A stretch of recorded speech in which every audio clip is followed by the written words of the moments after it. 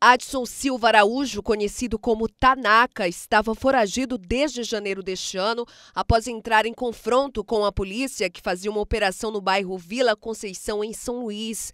Oito integrantes da facção criminosa liderada por Tanaka morreram, mas ele conseguiu escapar. A prisão foi resultado de diligências realizadas pela Polícia Civil e a Delegacia Regional do município de Zedoca. O Tanaka ele estava foragido desde janeiro desse ano, quando a Polícia Civil realizou uma operação no bairro da Vila Conceição. Nessa ocasião houve um confronto com criminosos, onde oito foram a óbito. O Tanaka foi alvejado, mas conseguiu se evadir. Desde então ele se encontrava foragido e recebíamos a todo momento diversas informações a respeito da, do, da sua localização.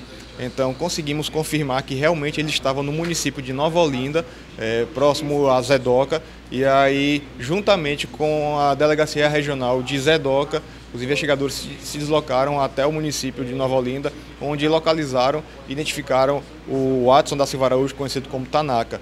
Com ele, a polícia também encontrou balanças de precisão e uma grande quantidade de crack e cocaína, e por isso foi autuado em flagrante pelo crime de tráfico de drogas. Esse indivíduo é considerado de altíssima periculosidade pela polícia, tendo em vista que ele responde já a processos criminais pelos delitos de homicídio, roubo qualificado, tráfico ilícito de drogas e também por formar uma organização criminosa.